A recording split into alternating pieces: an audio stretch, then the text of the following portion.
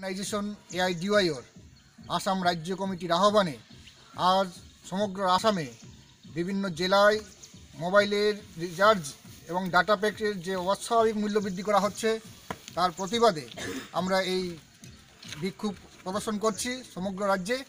আগামী ছাব্বিশ জানুয়ারি এআইডিওয়াইওর all India কমিটির আহ্বানে সারা দেশে টুইটার টেলিকম মন্ত্রীর উদ্দেশ্যে টুইট প্রদান টুইটার করা হবে।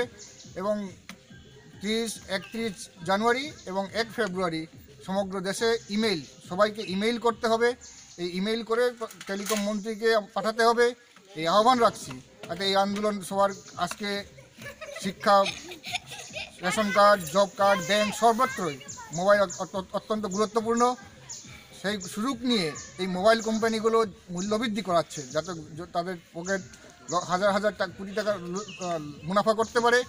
আমরা এর প্রতিবাদে এই রাজ্যব্যাপী এই বিক্ষোভ প্রদর্শন করছি আগামী ছাব্বিশ জানুয়ারি। আপনারা সবাই টুইট করবেন টেলিকম মন্ত্রীর উদ্দেশ্যে এবং ত্রিশ, একত্রিশ জানুয়ারি এবং এক ফেব্রুয়ারি আপনারা গণ ইমেইল করুন যাতে এই মূল্যবৃদ্ধি অবিলম্বে প্রত্যাহার করা হয়।